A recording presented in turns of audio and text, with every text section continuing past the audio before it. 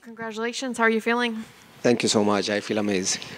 Is this kind of how you pictured today going? Um, finish, getting signed, coming back here and talking to us? Yes, and uh, and I said it in my interview. I'm gonna go in and I'm gonna finish him with the first round, and this is what I did. How confident? I mean, you sound confident, and you portrayed that you were confident. But how were were you really that confident, or were there nerves going going on in there? I was confident. Uh, yes, for sure, you're a little nervous uh, because you wanna make everybody proud.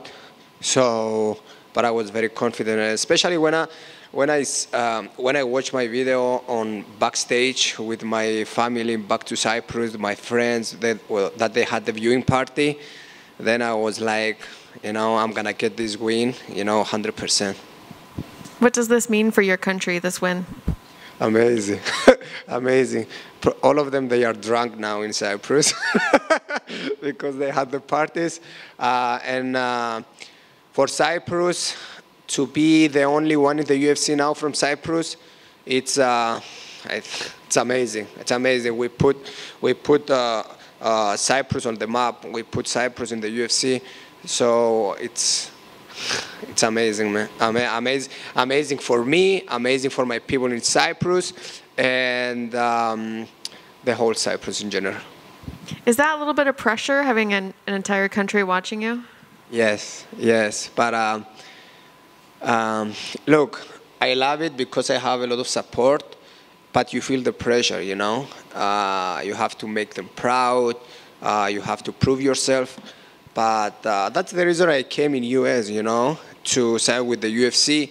I started like I started like fighting in the basements, and now I'm in the UFC. So uh, I want to inspire people, especially the people in Cyprus, uh, so that they can make it to the UFC if they if they if they are believing in themselves, they can do it. Where do you see yourself in five years? Five years, I don't know. I don't know. Five years is too long. uh, what about two years? Two years. Um, look, I'm, I'm seeing myself in the UFC, still in the UFC, and uh, I'm seeing myself climbing the rankings. Were you able to talk to anybody back home yet, or are you waiting until you're done here? Yes, with uh, with my brother and my uh, and my sister. But uh, my phone is on fire now. I cannot. so we already had somebody from week one signed. They have a fight coming up already. How soon do you want to get in there? I mean, it looks like Dana's getting people on board pretty quick. Um, I was thinking to fight in Madison Square Garden uh, because I'm, I live in New York. It will be amazing. Uh, so yes, I would love to. Do you have an opponent you'd like to fight, or you just want to get on that card? Uh, look, I don't care who is my opponent. Uh, I'm gonna beat them anyway. So uh, yeah, I can I can't fight anybody. Thank you. Thank you so much. Congratulations on the win and the contract. Thank you. You're the newest addition to the stacked bantamweight division. What can the fans expect out of you?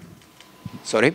Uh, you're the newest addition to the stacked bantamweight division in the UFC. What can the fans watching at home expect out of you? Look, man, I'm, I'm gonna bring, I'm gonna bring the UFC uh, like the new era, you know. Uh, um, you know, I'm a I'm gonna I'm gonna bring to the UFC a new style. You know, uh, I'm a very good striker. You know, um, and I want them to know who I am, my skills, and uh, so they have to be aware. You know. and uh, yet another bantamweight coming out of the Stack Serra-Longo camp. What's the what's the atmosphere like training out with all the guys out there that make out that great camp?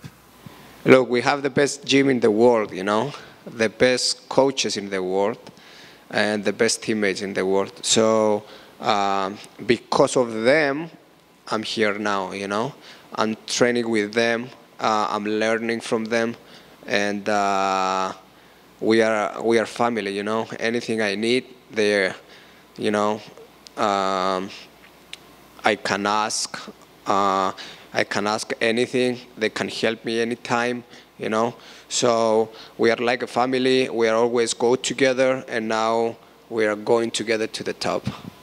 How important is it to have that transparency and family atmosphere at a gym?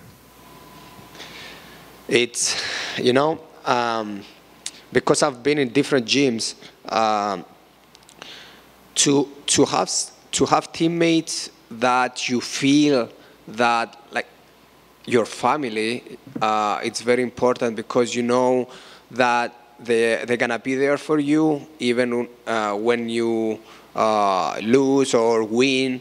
Um, they're gonna be there for you uh, for for everything. So um, even when we struggle with a fight or, or in a fight camp, uh, we are always um, you know you you always can call them, can text them and ask them you know or to help you.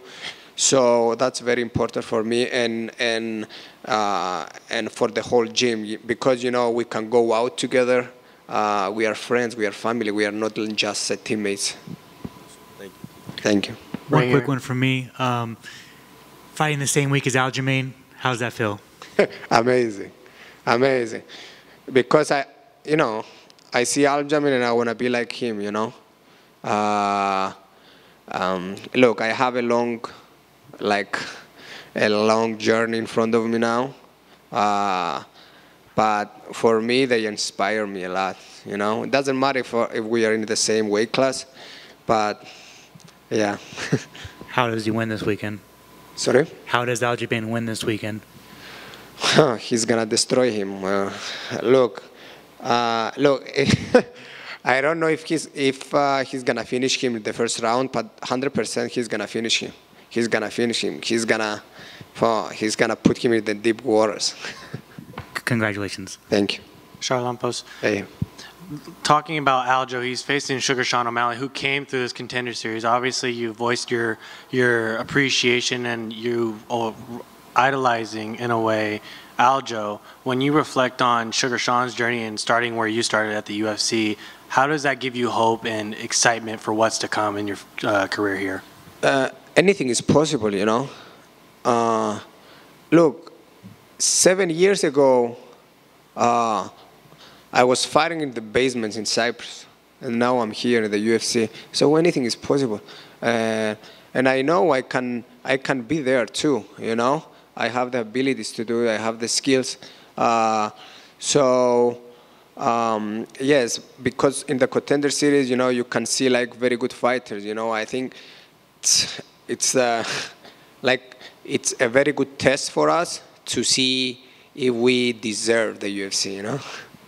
When you reflect on the times where you did fight in the basement till now, and you know, thinking about how much you've come from, what are those emotions, and what what's the outlook moving forward?